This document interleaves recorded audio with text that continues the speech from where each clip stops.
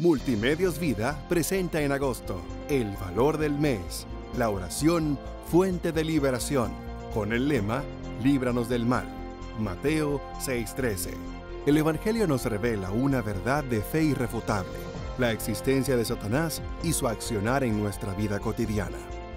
La oración es verdaderamente una fuente de liberación, porque a pesar de nuestra fragilidad, es el mismo Cristo que nos libera y da la batalla espiritual por nosotros. Les exhortamos a vivir en santidad para resistir las adversidades. Adquiere tu guía mensual Plan Pastoral llamando al 809-682-0815